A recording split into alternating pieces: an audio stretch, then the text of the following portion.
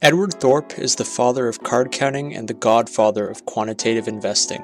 He is best described as the world's leading expert in devising strategies to beat games. From blackjack to finance, he has launched a revolution in beating the market and the dealer. He was a troublemaker early in life, making his first appearance in the local paper by pouring red dye into California's largest indoor pool. He experimented with his own homemade nitroglycerin and rigged a high powered spotlight to scare away young couples at a local lover's lane. He showed early signs of genius, skipping a grade and becoming one of the youngest people in the country to pass an exam on radio theory and Morse code. His life was not without hardship, however. He was born in the Great Depression, and his parents were occupied with long hours of work and caring for his sick brother. He learned to explore the world around him and think for himself, always validating any claim by himself without taking anyone's word for it. At the age of 17, as he packed up for college, his mother stole from him. Cashing out the war bonds that he bought with his paper route money and running off, Thorp was left to survive off of $100 a month as an undergraduate. Supporting himself with scholarship money and help from his father, he was forced to visit church open houses and scrounge for free hot chocolate and donuts. After earning his PhD from UCLA, he spent some time teaching and doing research. He and his wife took a trip to Vegas for the Christmas holidays, and there, Thorp took an interest in blackjack. To his wife's dismay, he lost $8.50 of his original $10 before leaving. Thorp was now determined to conquer blackjack. The belief that casinos must come out ahead in the long run was supported by conventional wisdom, which argued that if blackjack could be beaten, the casinos would have to either change the rules or drop the game. Neither had happened. But I wasn't willing to accept these claims about blackjack. I decided to check for myself if the player could systematically win. Thorp accepted a teaching position at MIT, where he was able to rub shoulders with great minds like John Nash and Claude Shannon. He had access to an IBM 704 and taught himself Fortran. After months of computation and man hours, he was able to determine that playing basic strategy with a full deck of cards gives you a 0.13% chance of beating the casino. He had some intuition as to how these odds could be improved. Other casino games, like slot machines, are driven by independent events. A deck of cards being depleted over a number of rounds, however, is not. Imagine a series of coin flips the chances of getting four heads in a row is low. But which way would you bet on the fifth coin flip? Would you say it's more likely to be heads or tails? Well, if you guessed tails, you've fallen prey to the gambler's fallacy. The chances of getting four heads and one tail is actually the same as getting five heads in a row. Each coin flip is an independent event. In other words, the flips of the past and the future have no effect on each flip. But in a deck of cards, Thorp wondered how your odds would look if four aces were missing from the deck. Well, it turns out that the casino had an edge of 2.7%. If four 10 value cards were missing, your chances are even worse. Conversely, Thorp realized that taking out small value cards like 2s, 3s, 4s, and 5s helped the player. Thorp shared his findings with Claude Shannon, who realized that the work of John Kelly would optimize the amount of money he bets. Using the Kelly criterion, Thorp had a more profitable system to take on the casinos. In 1961, he published Fortune's Formula, a winning strategy for blackjack.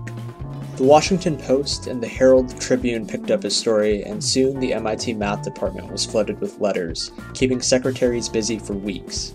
A benefactor reached out to him to test the strategy, at first offering Thorp $100,000 to play with. Thorp instead agreed to take on a stake of $10,000. During his time off from teaching at MIT, he and his benefactor took on Vegas. With 30 man hours of play, their initial $10,000 had grown to $21,000. Thorp would go on to publish Beat the Dealer, teaching thousands how to beat casinos at blackjack and launching a revolution of professional gamblers. Beat the Dealer suggested using a high low strategy, which had become the most popular for its simplicity and effectiveness.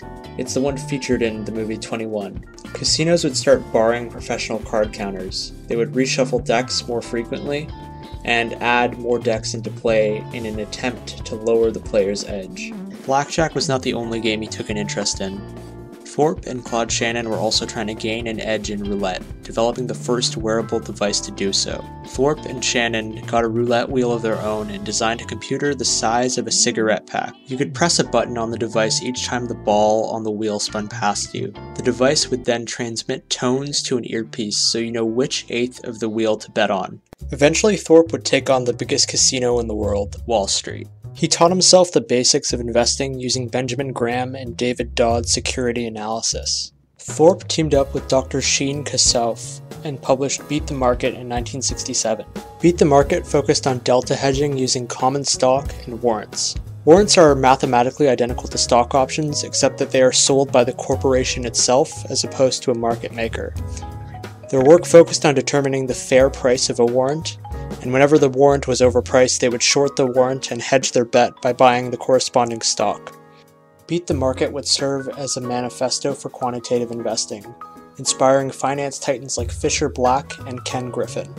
Thorp would team up with Jay Regan, who himself read Beat the Market and kickstarted a fund.